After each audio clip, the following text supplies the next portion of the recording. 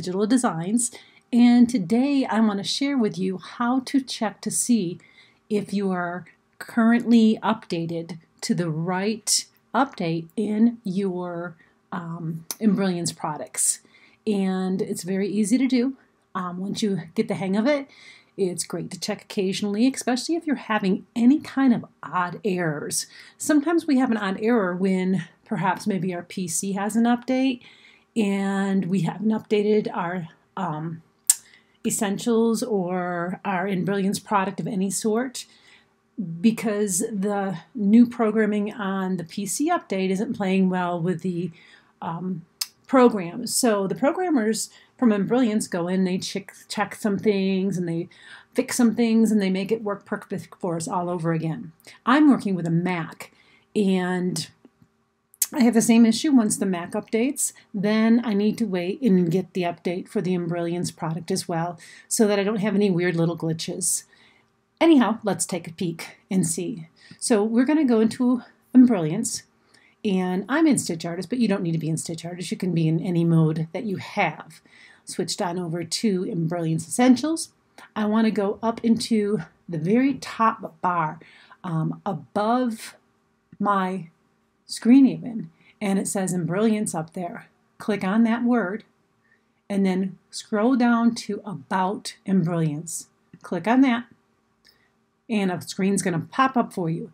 And in here, um, you have a link to Embrilliance, which is really handy, but also you can see the version here. The version is 1.172, and it looks like the update happened on 921 of 21. Okay, so now that we know what version we're supposed to be looking for, we can go over to Embrilliance, and I do have that open on another page, and just go to the main Embrilliance page.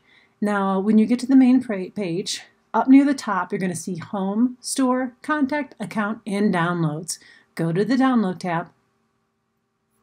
And when that opens up, I'm going to go here to my Mac because I have a Mac. If you have a Windows, you're going to look at this one.